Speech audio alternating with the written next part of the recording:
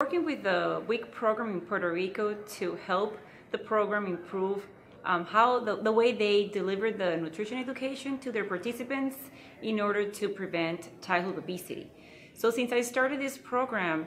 uh, I have really applied all the steps of the community-based participatory research, you know, the process that we have done, and that has helped re really help open up to what really the problem is and how participants perceive the problems and how the program wants to um, try to solve the problem. So it has been really a, a, great experience to not see it through the lens of a researcher in terms of what I, what I think, uh, I, I believe it's what's needed, but what the real problem is and looking at, at the lens of the different stakeholders of uh, the WIC program it, it also changed the way I even teach and do all kind of research as it has profoundly affected how I really look for the input of, of my students and other um, researchers and other participants that I will be doing um, projects on and even in my community trying to figure out what my neighbors and our community needs are. So that has um,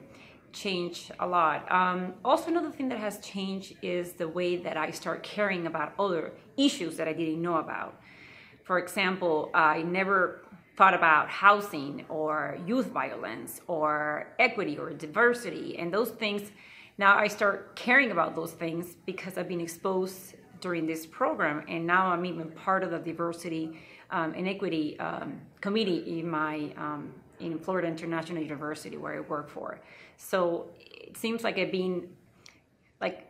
open a box in which now I care about so many other things, and sometimes it's overwhelming. But um, just take it uh, take it just um, one step at a time. So in a culture of health,